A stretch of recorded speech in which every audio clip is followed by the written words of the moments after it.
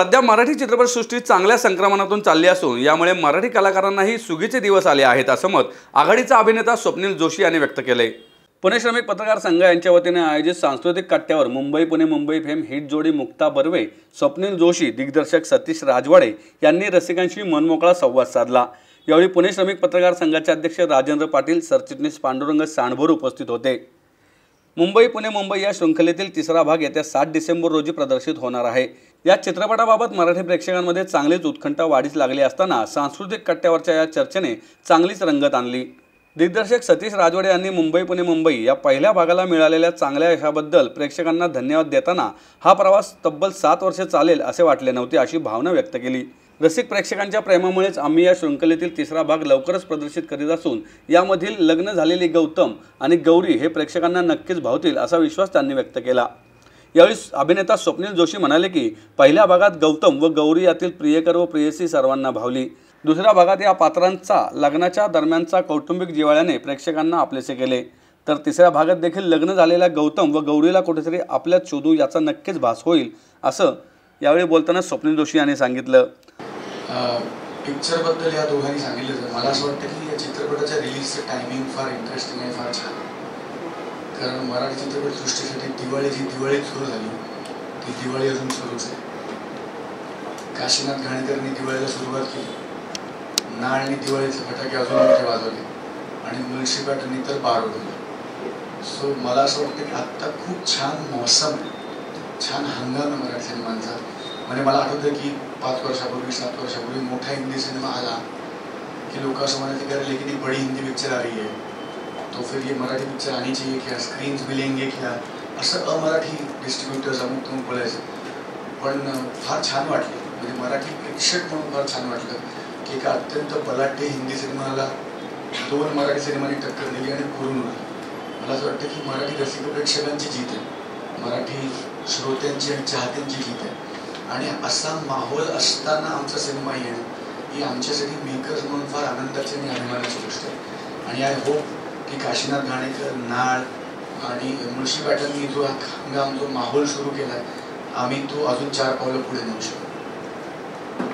खूप भारी वाटतं. म्हणजे आम्ही गमतीत असं म्हणतो की आम्हाला असं वाटतं की ही जी लोक आहेत गौतम आणि गौरी त्यांचे दोन परिवार आहेत ते एका वेगळ्या जगात खरोखरच आहेत म्हणजे मुक्ताची खूप छान थिअरी येते.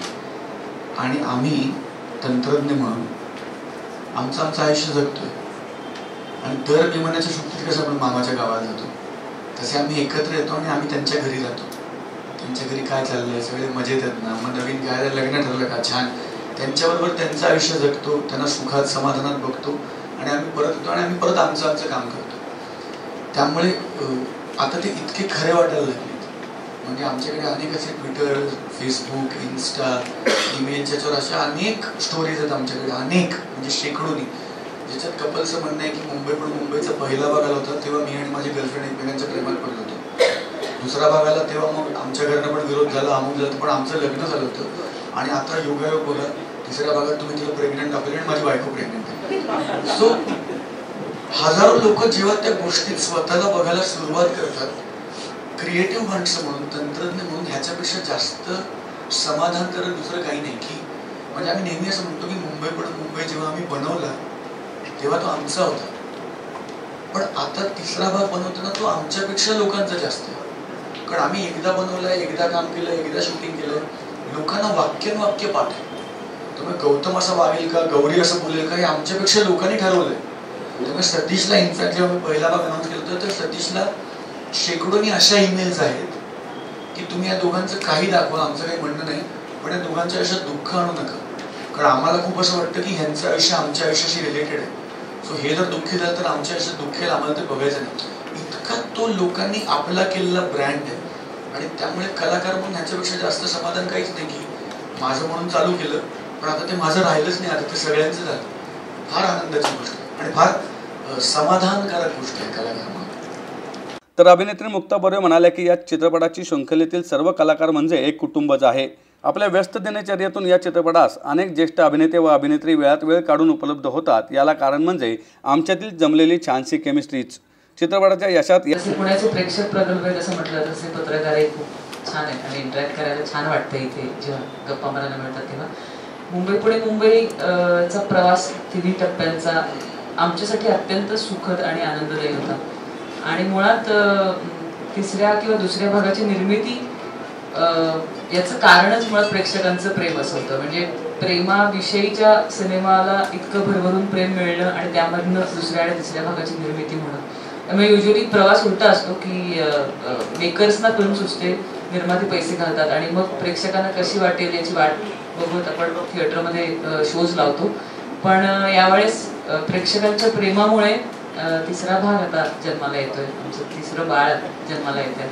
आणि ते आता कसं त्याचे लाड गोड प्रेक्षक कसे करणार आहेत कसं प्रेमाने त्याला अंजारणार गोंजारणार आहेत त्याची आता उत्सुकता लागली.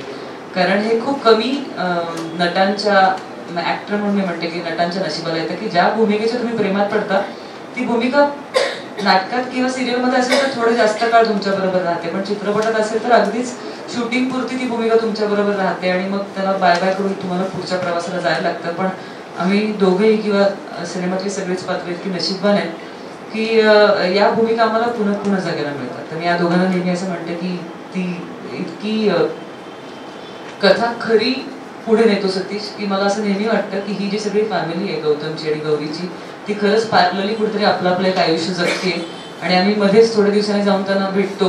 काय कसं आहे बरं आहे ना छान चाललंय ना आता कुठपर्यंत आला संसार त्याचं काय वा गुड न्यूज का वा असं करतो. आणि पुन्हा आमचे आयुष्य जगायला लागतो. त्यामुळे हे आम्हाला तिसऱ्यांदा भेटत आहे ह्याचा खरंच मनापासून आनंद होतोय. आणि दुर्मिळ आहे हा योग. तो आम्हाला साकारायला मिळतोय. हा योग आमच्या नशिबाला नाही खरंच छान वाटतंय.